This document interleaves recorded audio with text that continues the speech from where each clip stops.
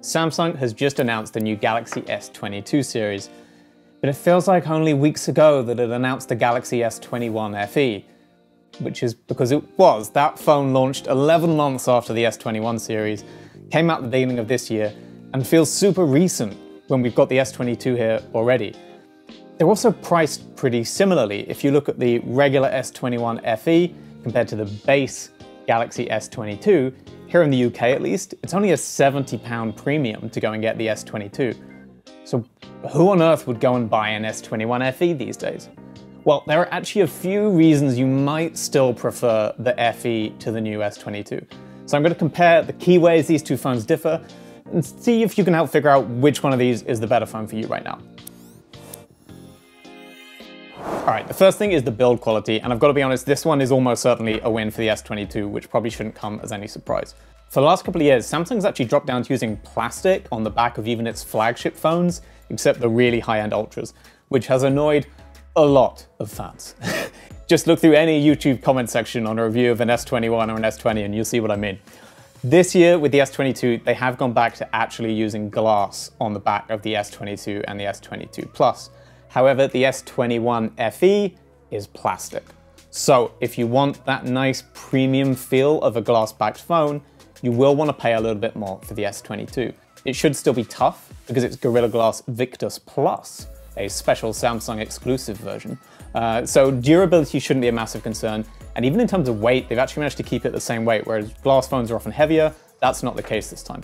So there's really no reason to prefer the plastic of the S21 FE here. Uh, in terms of the frame, in case you're wondering, both phones have aluminium frames, though on the S22 you're getting what Samsung calls armor aluminium, which is a little bit tougher than the metal that they use on the S21 FE.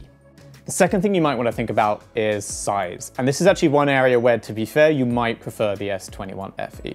So the main thing here is screen size. The base Galaxy S22 has a 6.1 inch display, whereas you're going to find a 6.4 inch display on the FE.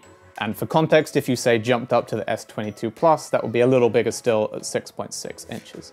So the FE is kind of positioned between the regular model and the Plus model. And honestly, for a lot of people, that's going to feel like a Goldilocks size.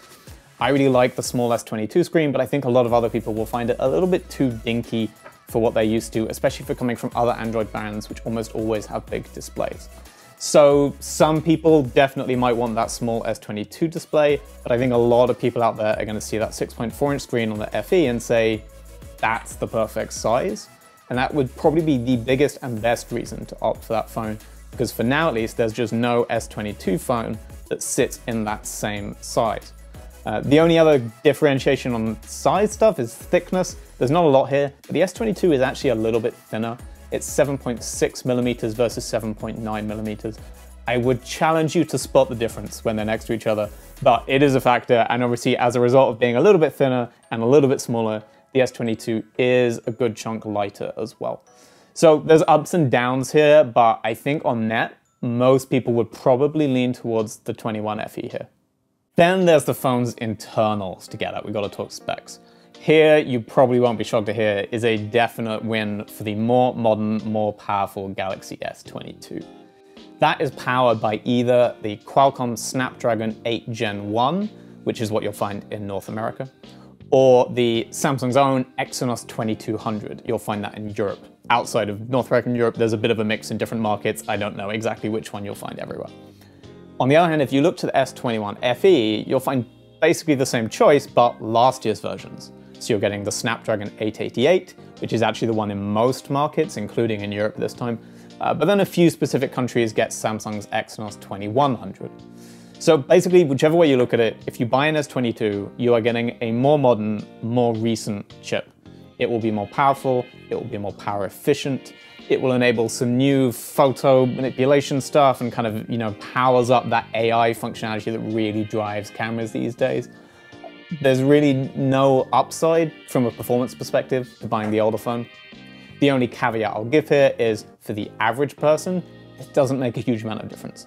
The chip in the S21 FE, whichever one you get, is super powerful, it's super fast, it will run everything you want it to run. So for the average person, this shouldn't be a huge factor. If you're a power user or a serious mobile gamer, and if you are, you, you know what you're looking for, in that case, yeah, this is a big reason to swing for the more recent phone. For the average person, it's a little plus in the S22 column, but please don't overemphasize it. All right, now there's camera, and unsurprisingly, this is a big focus for Samsung, and honestly, I think other than the glass back, this is probably the reason to opt for the S22 over the S21 FE. You're basically getting an upgraded camera almost across the board. They have fairly similar setups. Both phones have a triple camera. On the rear, you're going to find a main lens, an ultra-wide, and a telephoto. But on the S22, you're getting an upgraded lens or sensor in pretty much every one.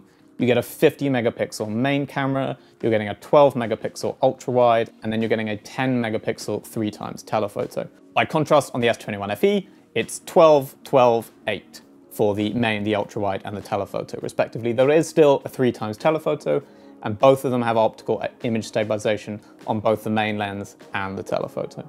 Uh, there's also a little bit difference on the selfie camera, getting a 32 megapixel on the S21 FE and a slightly higher 40 megapixel on the S22. Now, I reviewed the S21 FE and the camera there is really solid, but it's just solid. It's not absolutely jaw-dropping. I've only been able to play around with the S22 for a few minutes at Samsung's event space, so I can't really assess exactly how this camera performs, but certainly on paper and from my brief demo with it, this is better across the board. It's not a radically different setup, but every lens performs a little bit better than the matching lens on the S21 FE, and I think the main lens in particular is a step up.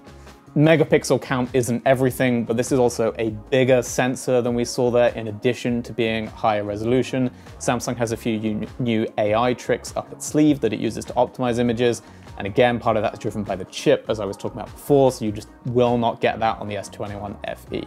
So I think generally if camera is your thing, particularly interested in kind of the more demanding sides of camera, like shooting video, like shooting photos in low light, stuff like that, you are gonna find that there is a performance improvement from the new S22. But again, for the average user, I don't know, the S21 FE camera is really solid, it's good enough for Instagram, most people will be happy with it.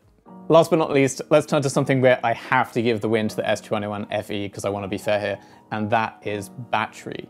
Uh, this is admittedly just because the S22 is a smaller phone. Smaller phone means less space to squeeze a battery in, but you are getting a 3700 milliamp hour cell in the new S22 compared to 4500 in the FE, which for context is the same size as what you'd find in the new S22 Plus.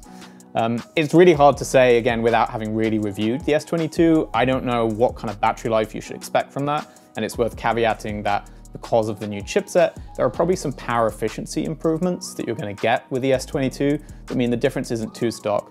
But either way, I'd be really shocked if the S21 FE didn't have the longer battery life.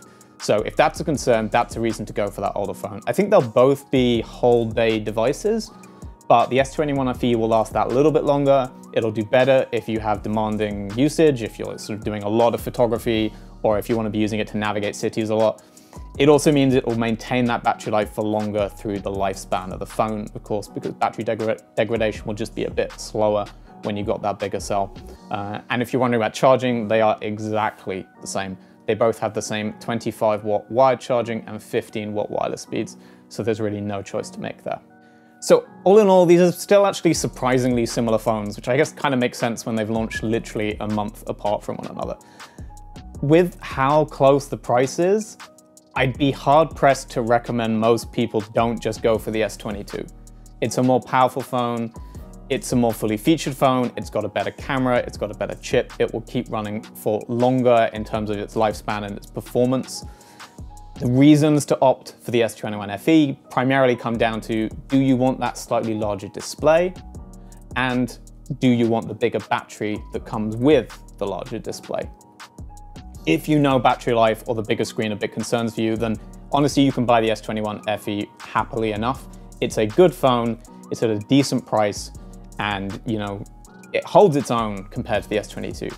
But if those aren't driving factors for you, then yeah, spend that little bit more get the S22, get the new chip, get the better camera, get that glass back and that premium feel, because it really makes more sense for almost everyone to take that upgrade. All right, thank you for watching and let me know in the comments what you think, whether you're going for either of these phones, whether you think I've gotten this completely the wrong way round. Uh, I've been Dom, this is Tech Advisor, and please remember to like and subscribe if you're a fan of the channel, and stay tuned for more from us.